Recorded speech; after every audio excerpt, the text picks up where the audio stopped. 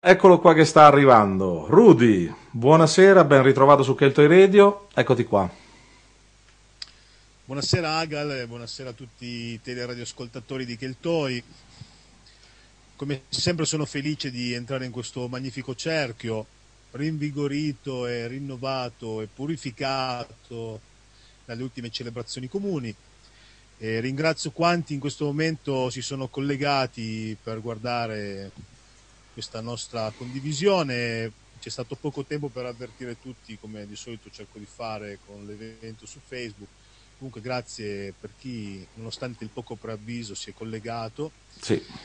E ringrazio anche come di solito faccio tutti i miei maestri passati, presenti e futuri, in particolar modo il mio maestro Aristide, che lui non mi guarda perché non ha internet, è un uomo d'altri tempi comunque Peggio per lui. mi faceva piacere, mi faceva piacere ricordarlo perché è una persona molto importante nella mia vita. È ora che si adegui.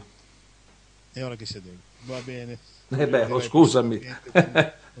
Nell'era di internet almeno seguire uno dei suoi allievi che fa una, una cosa da- di, questo, di questo tipo, fare una connessione internet non mi sembra una grande, una grande cosa. Perciò una cosa so, così Hai sconvolgente. ragione, Agar. Hai ragione, ma poi sai che bisogna rispettare modi e tempi di ognuno. Assolutamente sì. Ecco, mi pongo innanzi a voi con eh, questa ruota, questa ruota dell'anno, ma anche ruota di medicina, che rappresenta, come tutti sappiamo, i quattro elementi, o i sei, o i sette, rappresenta i sette colori principali più il bianco e il nero, e rappresenta quello che noi durante l'anno siamo eh, nel divenire, nell'essere, nell'apparire, nel creare. Quindi onoro questa ruota e onoro tutti quelli che mi accompagnano in questo percorso. Allora, la puntata di oggi mh, sarà dedicata alla celebrazione di Imbolc, però per arrivarci, come noi abbiamo fatto mh, l'altro giorno per arrivare al nostro rituale pieno, abbiamo fatto un percorso, per arrivarci abbiamo bisogno di un percorso, per capire un po' di cosa, di cosa si tratta quando parliamo di celebrazione, quando parliamo di rito, quando parliamo di ringraziare e onorare la nostra vita e quella della natura che ci attorno. Allora, nell'antichità, Gal, tu adesso sei con la prima foto, con la foto 1, hai già messa? Eccola qua che sta arrivando. Beh, qua ho, ho- pensato bene di onorare alcuni oggetti sacri che utilizzo, magari per dare spunto ad altri di, di costruire i propri.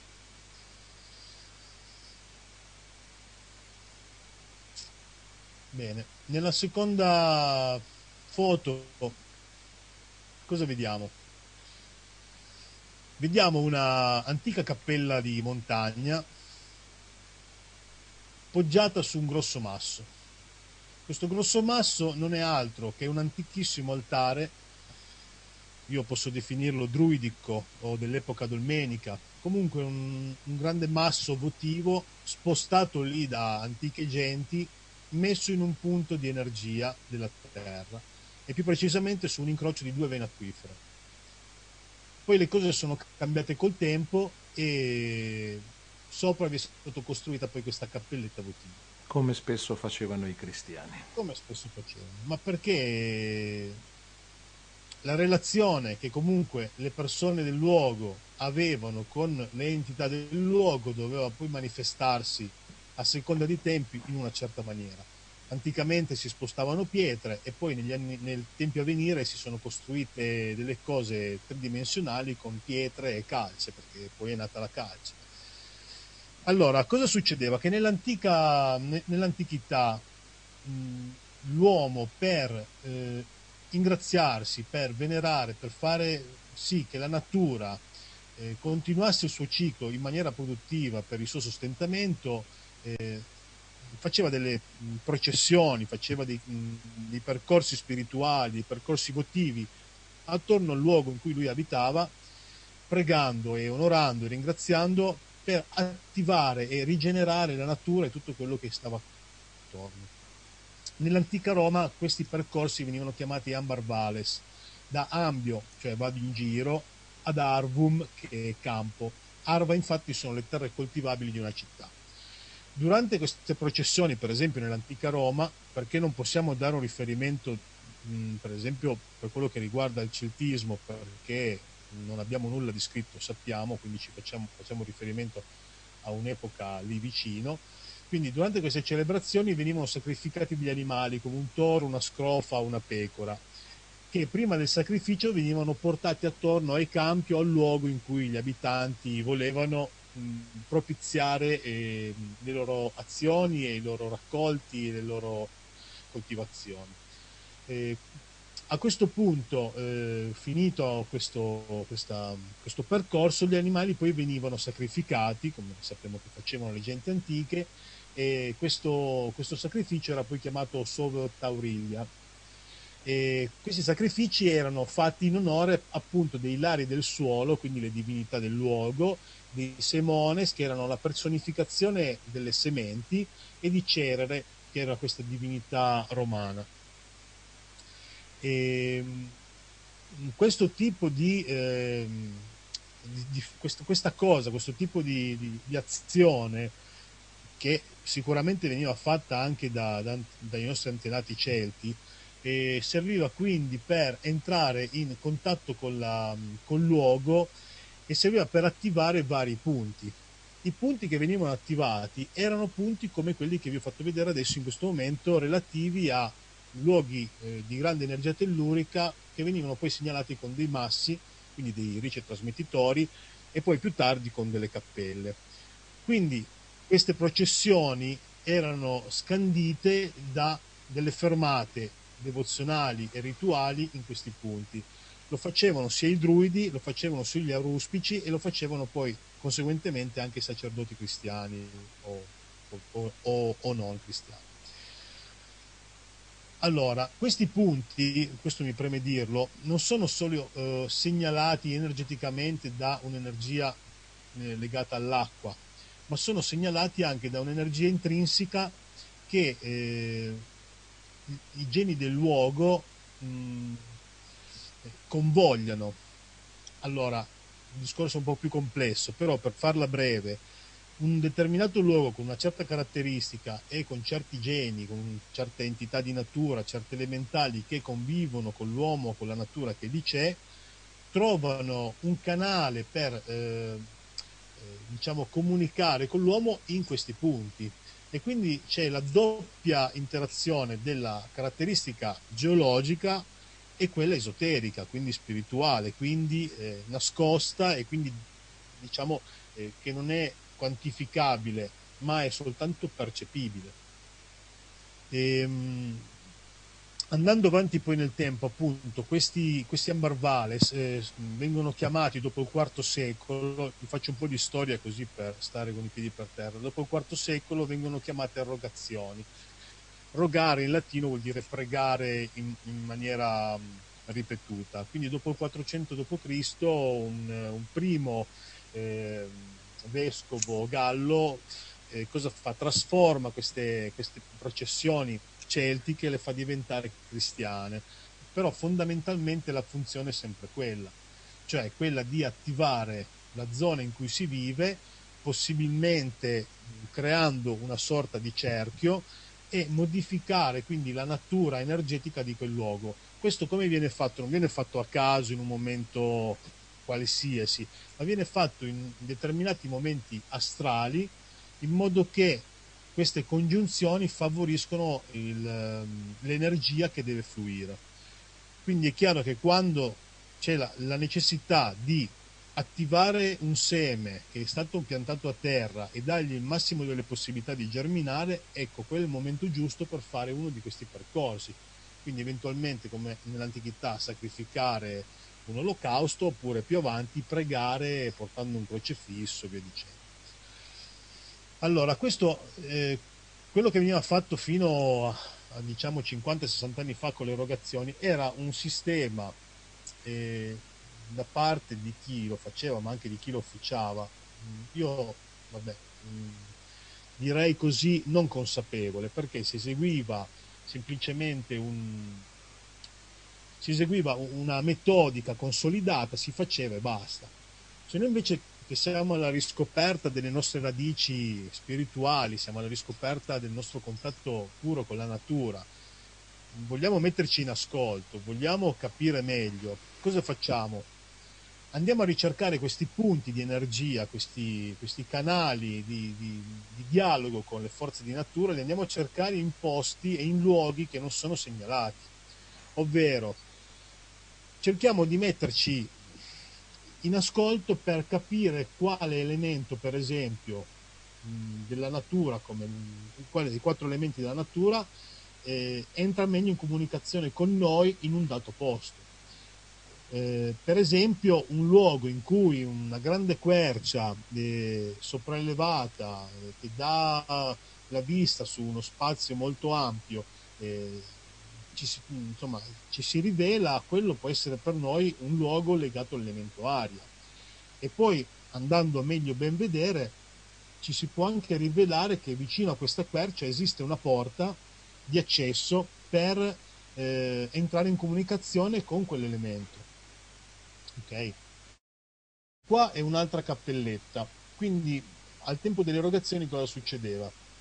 Che mh, il sacerdote alla testa con il crocefisso alzato e tutto il popolo dietro partiva dalla chiesa dove veniva fatta messa e poi si recava in ogni cappelletta e su ogni cappelletta diceva messa, eh, dava una benedizione, magari anche diceva messa, comunque eh, faceva una preghiera speciale. Durante tutto questo percorso tutte le persone pregavano incessantemente. Pregavano chi? Pregavano i santi che un determinato santo che non facesse cadere la grandine pregavano un altro santo che non facesse cadere il fulmine, pregavano un altro santo affinché le messi fossero feconde. Insomma, tutto era sviluppato attorno al concetto che mi rivolgo a, eh, al, all'entità giusta per chiedere quella frequenza, quell'energia giusta per lo scopo che mi serve. Okay? Ed era esattamente quello che capitava con i romani ed era sicuramente esattamente quello che capitava con le genti celtiche. Quindi questa cappelletta e, e all'interno di uno di questi percorsi. Se mettiamo la successiva vediamo l'immagine che c'è dentro la cappelletta e così capiamo ancora meglio di cosa parliamo. Ecco, questa è una splendida, una splendida immagine di una Madonna nera, adesso qua è più grigia, con una mitra in testa che porta un globo che rappresenta la terra e con un bambino. L'altra, la puntata precedente abbiamo visto questa rappresentazione di Ishtar, eh, eh, insomma, la rappresentazione del femminile, di cos'è, di cosa non è, abbiamo visto i serpenti, abbiamo visto varie cose. Allora, questo è, eh, non è altro che, questa non è altro che l'energia di un'entità femminile o dell'entità femminile della dea eh, inserita all'interno di uno di questi punti con il quale eh, gli abitanti del luogo entrano in contatto quando il sacerdote attiva questo punto e quindi richiama l'energia di questa, questa forza che scende sulle genti, scende sulle messi, scende sugli alberi, scende su tutto quello che c'è in quel punto, in, in quel luogo e lo feconda. Okay? Se mettiamo la, la successiva, questa è la dea, è la dea di Imbolc e Brigitte, così come veniva chiamato, chiamata per le antiche genti, genti irlandesi. Ve le metto vicino per capire la potenza di questa energia. Bene, se mettiamo la successiva, questa è un'immagine che chiaramente ho preso dal web, è il triplice aspetto di, della Brigitte,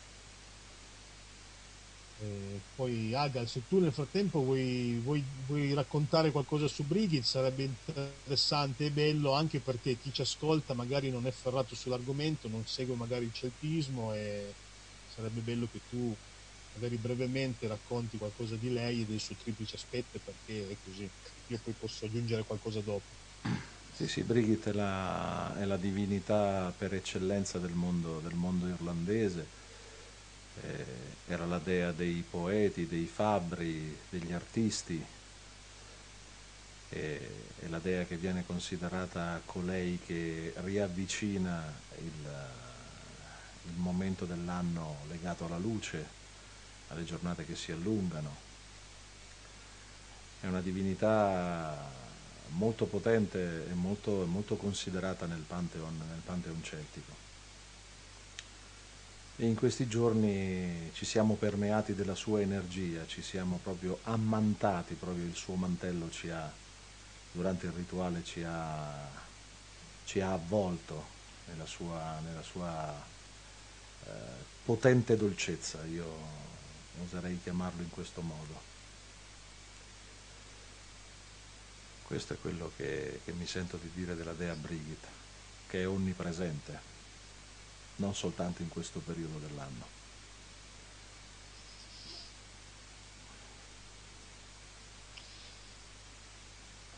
Questo è quanto. Bene, e quindi diciamo che sempre a favore di chi non conosce la storia, è, bello, è bene ricordare un attimo come sono le cose, e intorno al 400 d.C. questa figura di, di, badessa, di madre badessa di questo convento di Kildare, di questa Brigida, eh, si dice eh, figlia di druidi, e, e, e, poi diventata per la cristianità la famosa Santa Brigida che si festeggia il primo febbraio. E quindi è l'ennesima dimostrazione di come la cristianità ha assimilato eh, questa, questa, energia, ma forse non è neanche giusto dire così, comunque ha assimilato questa vocazione delle persone a interagire con questa energia, dandole un nome molto simile o uguale praticamente a quello che già loro conoscevano. E l'azione che di solito era quella di eh, essere totalmente contro, di denigrare, poi di accettare e poi di incorporare, in questo caso è stata più che mai soddisfatta. E perché la festa di Imbolc è una festa di purificazione? O perché così intesa, è stata così intesa nella cristianità? E qual è la spiegazione che viene data? Questo è un fatto interessante per poter capire meglio. Un concetto che poi spiegherò.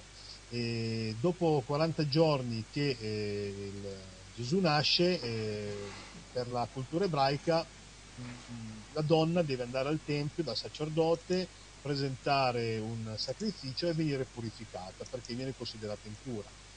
Ma questa opera di purificazione fatta in questo momento astrale, ecco che prima si parlava di fare queste processioni non a caso ma in un momento giusto, eh, questa operazione qui eh, è così per tutti, cioè questo momento astrale vale per tutti, vale per tutte le spiritualità o religioni di questo emisfero, perché in questo momento c'è la possibilità di essere purificati. E quando noi abbiamo celebrato l'altro giorno con questa neve incessante, è stata una purificazione portata eh, alla massima potenza, perché la neve è purificazione, la neve disinfetta i campi, la neve preserva, la neve è pane no? come si diceva anticamente. Non so quante persone avrebbero potuto stare 5 ore e mezza sotto la neve, incessante. È stata una... Allora, ci siamo guadagnati il nostro pane eh, e sarebbe stato molto più facile e più semplice rimandare o rinunciare, però noi cerchiamo di non fare le cose troppo semplici perché come dicevo, le benedizioni bisogna guadagnarsele, poi insomma c'è anche di molto peggio. Ebbene, e in cerca di luoghi di potere effettivamente lo siamo, lo siamo stati e continuiamo ad esserlo e lo faremo fin tanto che le nostre gambe ci porteranno in questi luoghi fantastici. Quindi, se vai con la 7, questo è un grande luogo di potere sono delle fantastiche guie.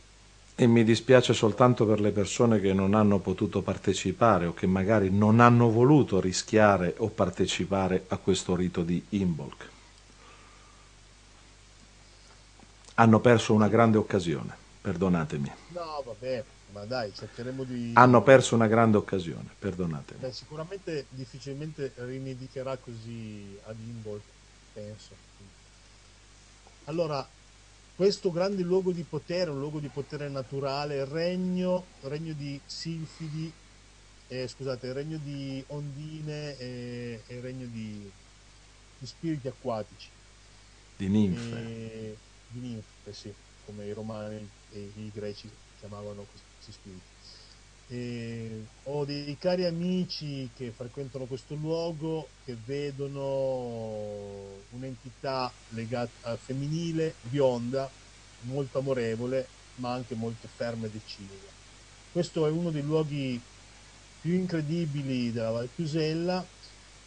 Vi metto solo questa nota storica che questa, che dieci anni fa eh, un gruppo di strane persone eh, ha deciso di ehm, praticamente bloccare il corso di questo fiume a monte di questo splendido luogo e, e poi di fare una trivellazione dentro la montagna per deviare il corso del fiume per servire una centrale idroelettrica da, dalle capacità poi energetiche veramente limitate se non nulle Fortunatamente un gruppo di persone, eh, piazzandosi davanti alle draghe, alle ruspe, ai loro macchinari, è riuscito a fermare questa pazza idea. Altrimenti queste foto che io ho fatto poco tempo fa non sarebbero state le stesse. Quindi guai a voi uomini disgraziati quando vi vengono in mente queste idee malsane di deviare il corso di un fiume tale di di mettere le mani su questa, questa bellezza unica. Io vi dico sinceramente che vi maledico con tutte le mie forze. Dico questo perché in questo momento in Valchiusella ci sono due, altri due tentativi di bloccare il corso del fiume, di deviarlo, di cementificare, di, di fare disastri. Eh, vi dico anche che Valchiusella è il secondo fiume con il biotopo più incontaminato del nord Italia, quindi vi invito a venire in Valtusella e godere di questa particolarità e maledico nuovamente le persone che vogliono mettere le mani per quattro spiccioli su questa, questa splendida cosa e vi maledico una terza volta perché l'energia idroelettrica prodotta è meno del 3% di quella che il Piemonte utilizza. Vi maledico un'altra volta, scusate che ho finito, perché in realtà già abbiamo le centrali nucleari attaccate al culo e penso che questo basta. Quindi scusate, questa era doverosa da fare e sappiate che questa è proprio energia che magari sconterò in un'altra vita, però devo dire. Nella 8 un'altra prospettiva di questo fantastico luogo, tenete conto che questo fiume si eh, chiude tutto e passa in quella piccola fenditura che c'è uh, che c'è lì centralmente. Eh sì, come, come, come un, un, utero naturale questo. È un grande utero della grande madre, è un grande utero della grande madre, un posto veramente mistico, con un'energia indicibile. Io lo amo con tutto me stesso. Questa nella 9 è un'altra foto. Ragazzi, siete discordanti. Leonardo dice non maledire mai, ness- mai a nessuno. Lancillotto mi aggrega la maledizione. Sarabanda, bravo Rudy, ti capisco assai. Leonardo, hai ragione, hai perfettamente ragione, però la rabbia comincia a essere tanta, comincia a essere tanta e no, le persone sono non... stanche. Esatto, qua non c'è più bisogno, allora qua bisogna fare, ognuno utilizzi i mezzi che ha a disposizione, e se ha la possibilità di andare davanti alle draghe e fermarle quando vogliono distruggere il luogo in cui vivi, vai, se hai la possibilità di contattare e confrontarti con delle energie le quali non aspettano altro che sentire il tuo amore, puoi farlo e ognuno usi i suoi sistemi. Eh, la vita è una sola, qua la gente continua a vivere nell'apatia, nella noia, nel, cioè, svegliatevi, godetevi di quello che avete, non permettete che vi venga distrutto sotto gli occhi. Io qua ci voglio tornare finché vivo e voglio trovarlo intatto e incontaminato e nessuno deve togliermi questa possibilità. Sarò solo io, non lo so, però questa è la mia vita, è solo la mia vita. Va bene, dai, la 10. un'altra... La 10 è veramente bella. Allora, parlavamo di eh, processioni, parlavamo di percorsi spirituali, parlavamo di devozione.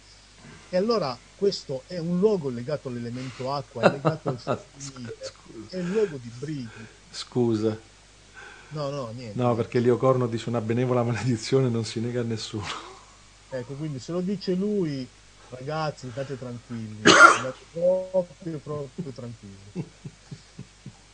Allora, il nostro percorso devozionale di attivazione, di, di ringraziamento, di benedizione, di purificazione mh, che abbiamo fatto durante la cerimonia di Imbolc è venuto anche qua, è venuto qua a onorare, ringraziare, a chiamare l'elemento acqua su di noi, perché noi abbiamo gli elementi dentro di noi, dobbiamo semplicemente vivificarli, chiamarli, riconoscerli e far sì che questa forza entri in noi, che questa madre ci accoglia.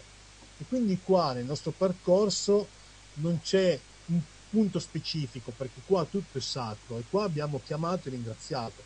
La cosa bella che siamo riusciti a fare qual è stata? È stata quella di eh, far interpretare a delle persone eh, veramente di cuore, io le ringrazio tantissimo, far interpretare questi, questi ruoli, far entrare dentro di loro questi elementi. E vi garantisco che nel momento in cui eh, la persona che ha eh, trasferito su di sé l'elemento acqua ha, ha, ha chiamato l'acqua e si è presentata come acqua, è stato un momento emozionante dove tutto ha risuonato con l'acqua, con la madre, con la divinità. E, e per me è un momento che ormai è scolpito dentro di me e penso anche per te Agal. Rudy, guarda, io di rituale ormai ne ho un ventennio sulla, sulla groppa, ma devo dire che questo rituale per certi aspetti è stato tanto diverso dagli altri e in particolare, ecco, come, come, dicevi tu, quando la ragazza, in questo caso Claudia, ha interpretato l'acqua, lei era acqua.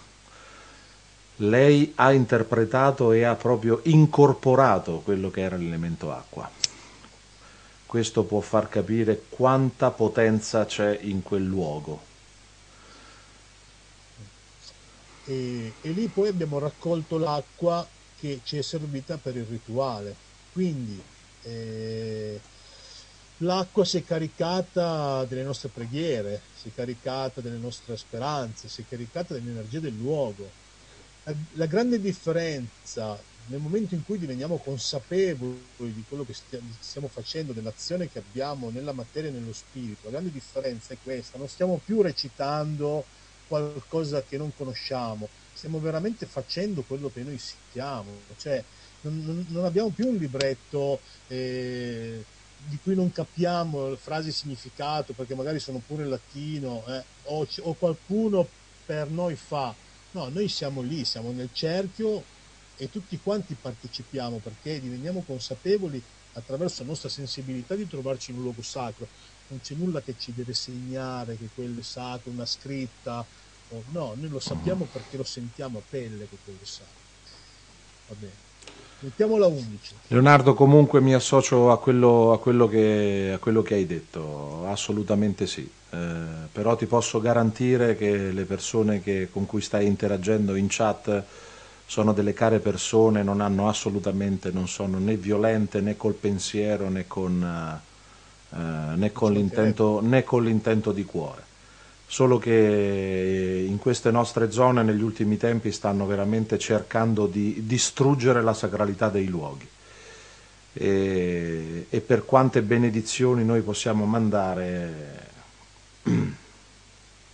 forse non, ancora, non, abbiamo ancora raggiunto la massa critica per far cambiare questo tipo di, di, di andamento, forse anche per colpa nostra. No, eh, poi ecco, eh, sai bene Aga che proprio nella tua zona vogliono praticamente eh, fermare il corso di un torrente, che è l'Elvo se non sbaglio, incanalarlo all'interno di una condotta forzata, quindi attraverso una perforazione dentro la roccia e farlo andare in un altro fiume, in un altro torrente per avere dell'energia idroelettrica. Allora l'energia idroelettrica, per chi non lo, non lo sa, ormai è completamente fuori da qualsiasi parametro valido di produttività. Questo è proprio confermato e certificato.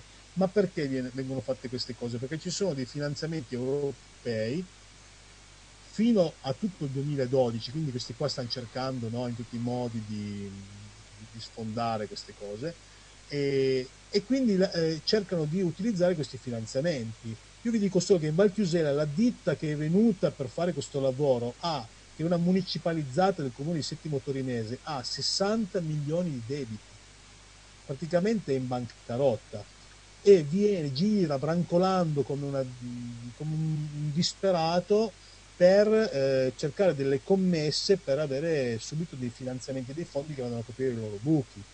Okay? Quindi questa è la situazione totale in Italia per quello che riguarda le rinnovabili sull'idroelettrico, specialmente in Piemonte. Abbiamo a che fare con dei delinquenti che non guardano in faccia a nessuno e che saranno per questo maledetti. Ok, scusate ancora. Allora. Io utilizzo questo spazio come è giusto che sia perché la 11. Questo è, un gra- è una grande roccia che spunta dal terreno. Nei pressi di questa roccia c'è un punto di energia consacrato da antichi sacerdoti e questo per noi durante il rituale ha rappresentato l'elemento terra, perché era l'elemento più basso, con eh, questo spuntone di roccia eh, magnetica che rivelava proprio la, la struttura della terra sotto la pelle. E su questo punto eh, abbiamo poi fatto un bellissimo cerchio e è risultato le 19 fiamme di credi.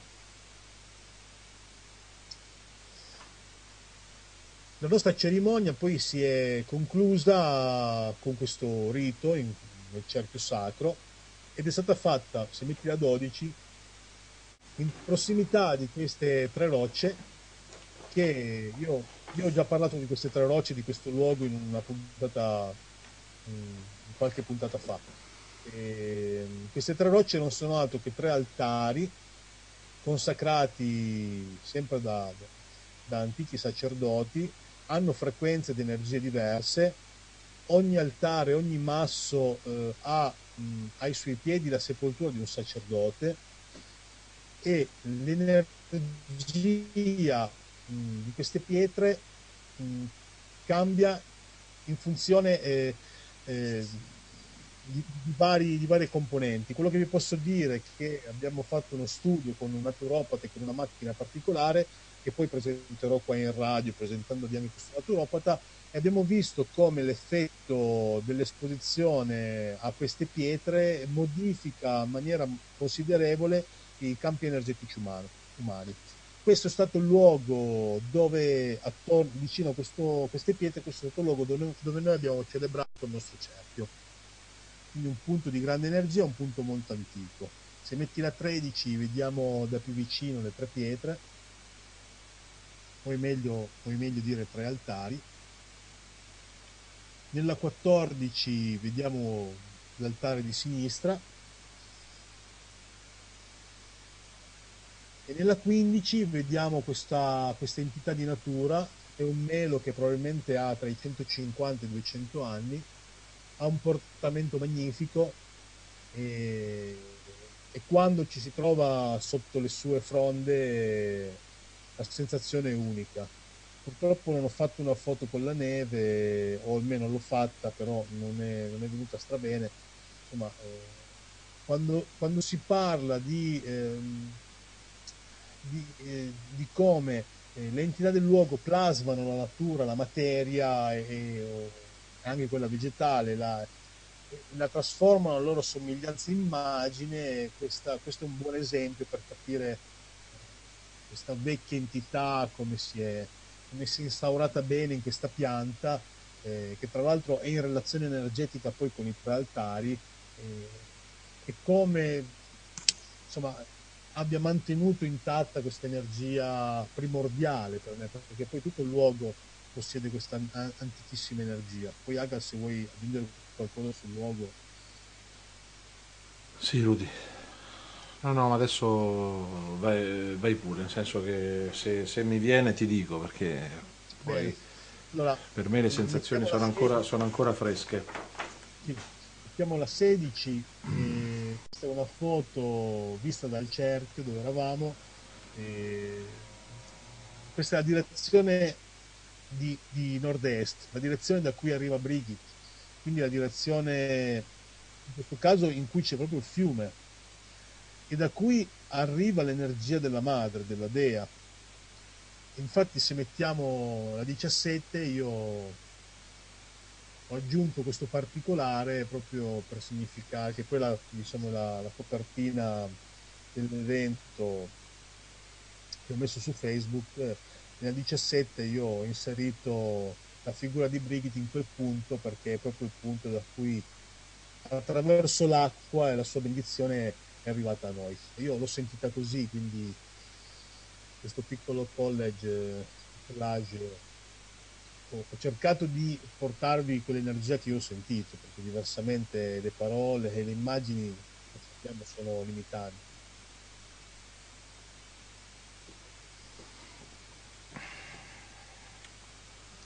E questa invece è la foto del nostro gruppo che ha partecipato a questo, a questo momento, a questo momento di passaggio, a questo momento di trasformazione.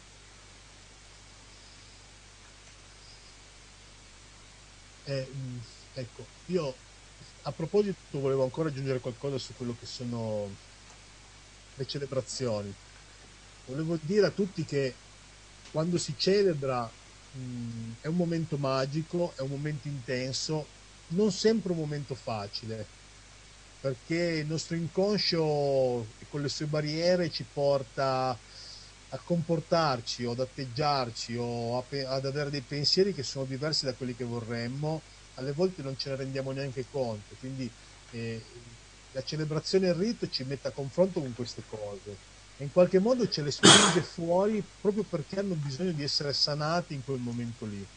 E quindi non pensino le persone che magari non, non conoscono questo modo di fare che sia tutto bello, facile, simpatico al di là della neve, no, anzi, il rito, la, il rito, così come inteso nel celtismo, ma anche in altre tradizioni, il rito scandito dalla stagione, non è altro che la ricapitolazione di un periodo di vita che deve essere poi compreso, deve essere ricapitolato e quindi assimilato e, e, e, anche celebrato fondamentalmente, perché noi non stiamo solo celebrando l'entità di natura, non stiamo solo celebrando eh, il padre e la madre, ma stiamo celebrando anche noi stessi, la nostra vita, la nostra unica vita su questa terra in questa forma. E stiamo celebrando la fiamma che è dentro di noi, l'acqua che è dentro di noi. E, ehm, quindi eh, l'importanza poi di arrivare al luogo del rito ringraziando come abbiamo fatto tutti e quattro gli elementi, dando ogni elemento il suo giusto valore sia fuori che dentro, è, è importante, è più importante ancora farlo in maniera consapevole. Se poi riusciamo, io parlo per me, ma non voglio dare lezione a nessuno, a sacralizzare la nostra vita in ogni istante, noi andiamo bene perché questo volano continuiamo a farlo girare, questo percorso è sempre dentro di noi poi comunque siamo qua per imparare, siamo a scuola, è chiaro che ogni tanto arrivano le mazzate, eh, arrivano le cose tristi, però l'importante è affrontare poi le cose da guerrieri. E io penso che il cerchio dell'altro giorno era veramente un cerchio di guerrieri, con una potenza, una grande potenza. E poi lancio la, la 19. È un elementale del luogo. Andiamoci anche un po', ridiamo anche un po' di noi, perché abbiamo dentro anche Lucia l'asina. Eh. Sì, che è veramente splendida e anche molto socievole. Mentre, mentre, tornavamo via ci è venuta incontro a salutarci. E cioè è stata, e anche qui è stato una, un bel momento. quando è suonato e quando è suonato la conchiglia e quando ho suonato, quando ho suonato la conchiglia ha ragliato sì è vero si è, si è, si è intonata al canto Bene, cosa dire? Che la nostra Bride, Brit, Brigantia, Bridget, Bri, Breda, con tutti i nomi possibili e immaginabili, ah, la signora ci ha la grande signora ci ha accompagnato in questo, in questo rituale, la sua presenza è stata assolutamente forte. Vi saluto, vi ringrazio per l'ascolto e che dire di più? Ringrazio Agal, ringrazio tutti i fratelli e le sorelle che hanno partecipato al cerchio di Imbolc. Saluto chi, chi, non c'era e che comunque ci è stato vicino, come Briga per esempio, a cui mando un bacione grandissimo. E l'augurio qual è? Quello di allargare ancora questo cerchio, o comunque l'augurio è che ognuno allarghi il proprio cerchio e condivida le proprie esperienze, le proprie sensibilità, eh, il proprio sentire con gli altri, con le persone che ha vicino. Eh, tante volte ci sono delle incomprensioni anche tra persone che si conoscono da un po' di anni, eh, tutto si può superare, eh, magari il cammino non è lo stesso, però eh, se c'è la volontà ogni esperienza è buona. E ho finito. Bene, Rudy, grazie ancora per essere stato con noi, per aver anticipato la tua puntata.